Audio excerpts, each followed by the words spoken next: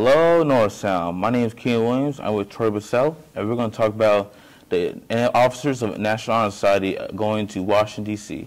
So, Tori, how are you doing? I'm great. How are you, Keenan? I'm doing great. So, what was the trip all about? So basically, the Officers of National Honor Society, along with Ms. Boyle, our advisor, went down to Washington, D.C. to a lead conference. So, how long did you stay at D.C.? We left Friday after second period, and we arrived back here Sunday at around 1. So why did the um, National Honor Society attended unlike other clubs in um, Northampton? Well, the main reason of this was because Ms. Boyle was the advisor who found the LEAD conference. This LEAD conference is normally for National Honor Society and Student Council. Um, and, you know, we reached out to Student Council. Student Council, it's a lot of money for the officers to go, so it was kind of not really within their ability. So it was the National Honor Society officers that decided to go. But it actually works out because I'm also the Student Council president, so I kind of got both uh, clubs going there. Is there like any chance that maybe one day like everybody in National Honor Society can attend, or is only just the officers? Um, that would be a really good goal, I think, to have one day. However, the whole trip itself is just to go to the conference, $250. We were really fortunate that Mr. Smith actually uh, paid for the van to take us down and also part of the hotel room. Um, and we fundraised, fundraised a lot too. So it would be a really cool goal to have more than just officers go, but it, it definitely would cost some money, and that's uh, definitely do a lot of fundraising for that. So what did you guys do when you got to DC? So when we got there, we actually had some time. So we went down to the Holocaust Museum, which was really cool. We walked around, and um, a lot of them hadn't been there before, so we got to walk around with them, and it was a good experience for uh, some of the officers. And then we went out for dinner, and then we actually went to the opening conference, and there was about 1,200 people there. So it was in the um, Hyatt in the hotel. So everyone was almost everyone was staying in the hotel, so we all just went down to the ballroom and we had a motivational speaker talk to us in the opening. And there was two students who led the whole entire conference, so they kind of opened and would bring people up to speak, and they would speak for a little bit. Um, but by far, my favorite, I think, were the motivational speakers. So was it only like people like around the DC area, or was it like everywhere, like around the whole country? Oh no, yeah, it was absolutely people from all around the country. Um, part of our kind of warm up exercises when we would go into a room because oftentimes you go by yourself without anyone from your school. You would go around, shake your hand, say, Hi, I'm Tori Purcell, I'm from Pennsylvania.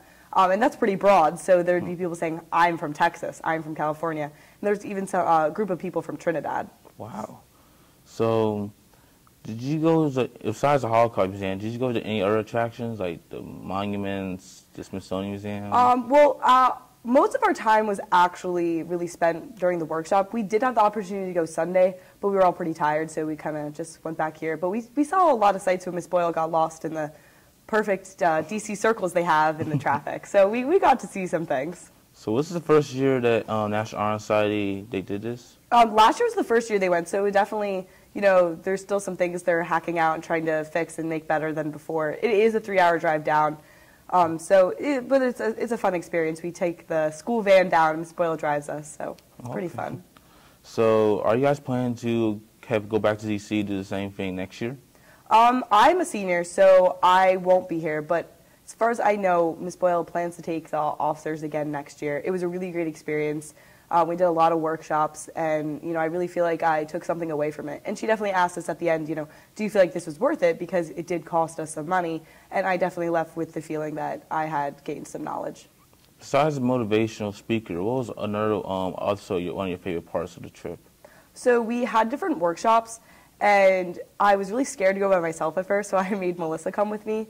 But eventually, I kind of went off on my own, and I went to one called Mindfulness, and it was this a really great guy. He was a, had been a teacher for many years, and he kind of taught us to think about our own mental health and how to go about life and not let others bring you down, and just thinking about how you want to see, excuse me, how you want to perceive everything in your daily life. And I think that really kind of affected me. I really uh, thought about it and kind of changed my mindset. I think. so why do you think it was important for you to go to the workshop and see the motivational speaker and everybody else? Um, it's really important that your leaders know how to lead. If you don't have good leaders, then your club might end up falling apart or there'll be needless kind of problems. So if you can have leaders that know what they're doing and have actually been instructed, because um, oftentimes, you know, people say, oh, you were born to lead, this and that, but, you know, it's, I think it's really imp important to be instructed how to lead because, you know, what better way to be instructed than by leaders themselves? So we had this huge group of people who you know are all coming together, and it was all people who want to lead.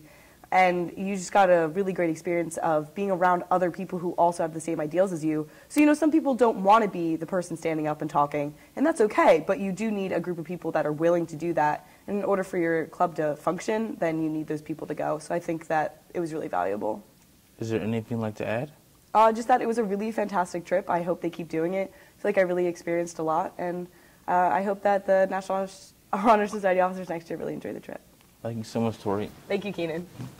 I'm Keenan Williams. I'm with Tori Bassell and talk about the officers for NHS trip to Washington, D.C. Now back to our host.